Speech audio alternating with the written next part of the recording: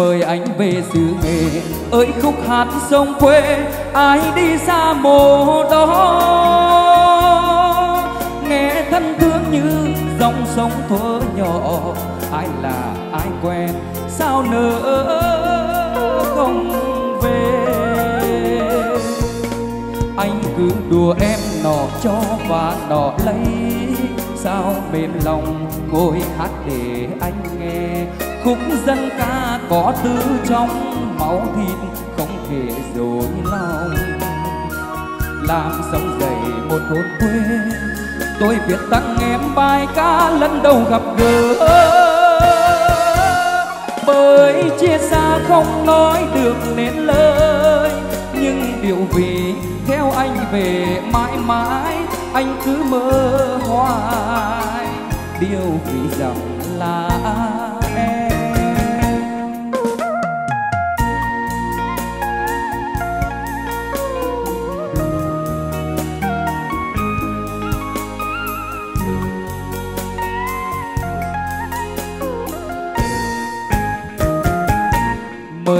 Về sương về? Ơi khúc hát sông quê, ai đi xa mồ đó? Nghe thân thương như dòng sông thuở nhỏ.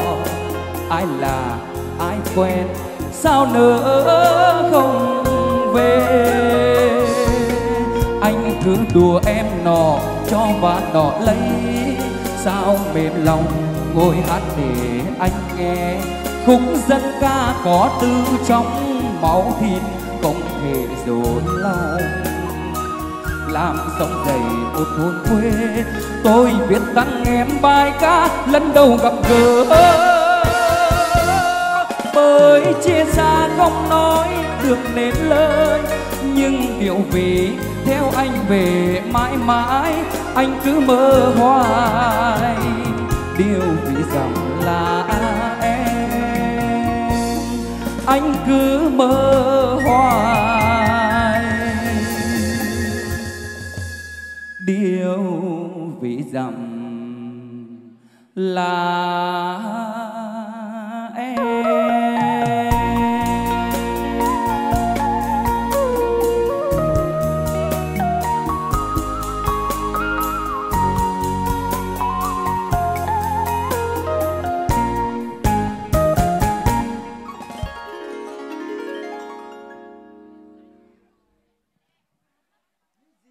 bài nữa. Xin cảm ơn quý vị à, đã dành à, à, một chút tình cảm, một chút thời gian với ca khúc điệu với giọng là em, một sáng tác nổi tiếng của nhạc sĩ quốc nam. Và thay đổi không khí trong môi trường một chút cho phép quang xin được trở về với một cái dòng nhạc remix sôi động hơn, ca khúc có tên gọi xuân yêu thương. Xin mời quý vị chúng ta cùng lắng